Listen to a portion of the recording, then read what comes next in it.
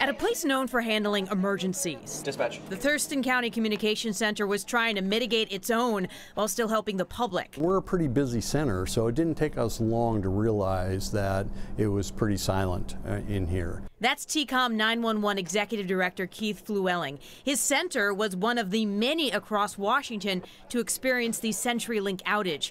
He said that's when their backup plan was activated. The first thing we do is we notify uh, Thurston County Emergency Management, and they have a notification uh, process for the community.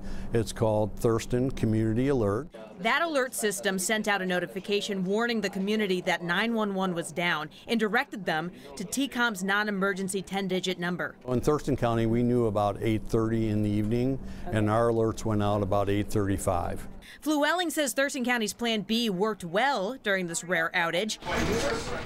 However, in natural disasters like an earthquake or tsunami, you cannot rely on 911 being a resource. That's why Thurston County officials say, just like their dispatch center, your household needs a backup plan too. You should be prepared for a disaster. Um, have a disaster preparedness plan for your home. Um, have a kit that has water and food and all the things that you would need, first aid kit, etc. Check with your county's emergency management department's website to see if they have a list of things to include in that kit and to see if they have their own alert system you can sign up for. While this outage did not happen during a natural disaster, it is a reminder to always have a plan in place for yourself and your family in case a dispatcher is not there to pick up the phone. We encourage all, all uh, citizens anywhere to do that.